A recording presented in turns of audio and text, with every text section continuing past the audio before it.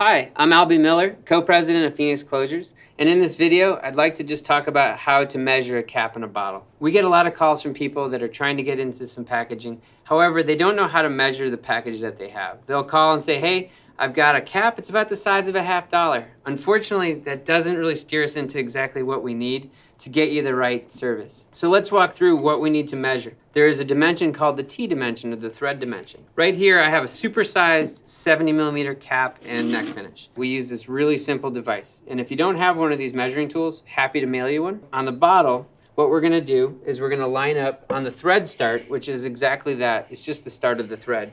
We're gonna line up this end of the measuring tool and what we're going to do is we're going to go to the next thread on the other side, which in this case is, is 70 millimeters. And then when you go to the cap, let's just flip the measuring device over. And so what you're going to want to do is line up the inside. So you can see here's the zero position.